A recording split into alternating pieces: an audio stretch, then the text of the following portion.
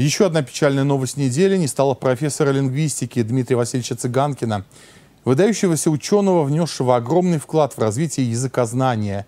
Он написал учебники, по которым до сих пор школьники и студенты изучают мордовские языки.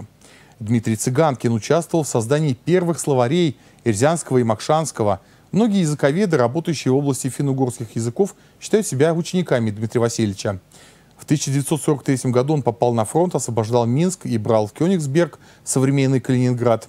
Цыганкин до последнего читал лекции студентам, фотографировал, писал книги и ездил в экспедиции.